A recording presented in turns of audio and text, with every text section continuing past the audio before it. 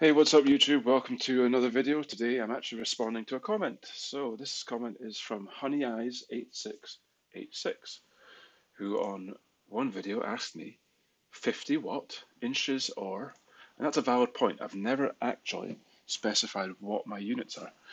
So just to confirm, it is in millimeters, but I'm going to show you how to check that. So when you're on your drawing, type in units And this is your drawing units. So units to scale inserted content. And as you can see, I'm at millimeters, but you can change it. You can change it to whatever you want.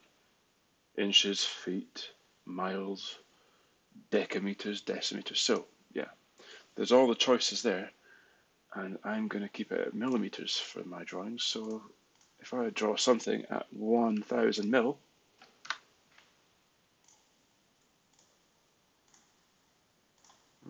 cannot see that, but yeah, 1000.